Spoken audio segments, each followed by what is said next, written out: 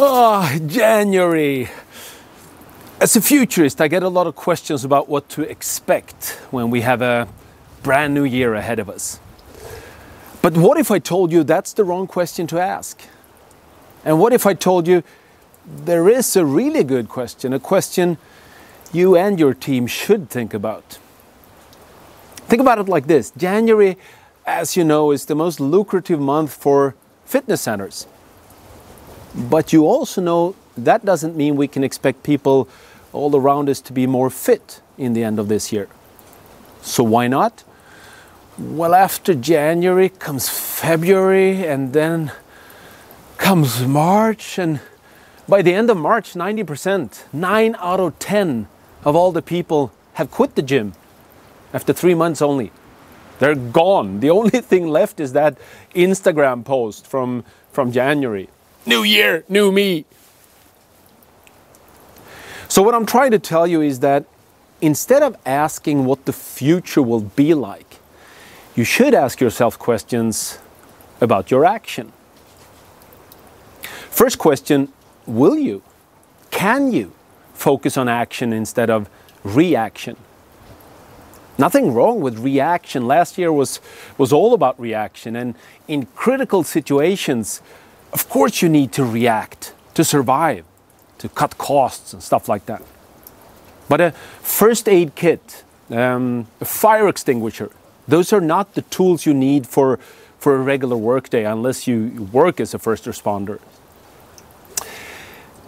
In a time defined by an increased speed of change, you need to ask yourself how to minimize the reactive work you have to do to maximize time and resources for proactive work.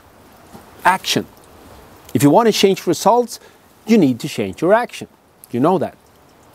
So, again, don't think too much about what we can expect from this new year. Think about your action from now on. How can you and your team make sure you're not going to be part of the 90% to quit doing? If you just manage that, if you just manage to show up, to stay, to ship. This year will mark a spectacular breakthrough.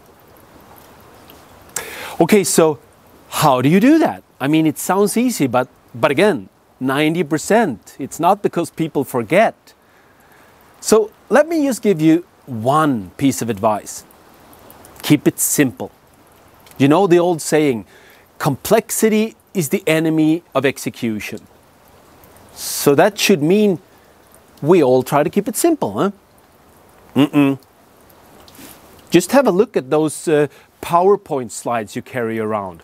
Your corporate strategy, your core values, words, words, graphs, uh, stock photographs, more words.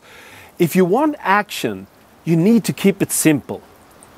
Why do you think advertising is simple? Uh, media, political campaigns, one sentence, one word only. Okay, you want to lose weight this year? As a futurist, I have one word for you run!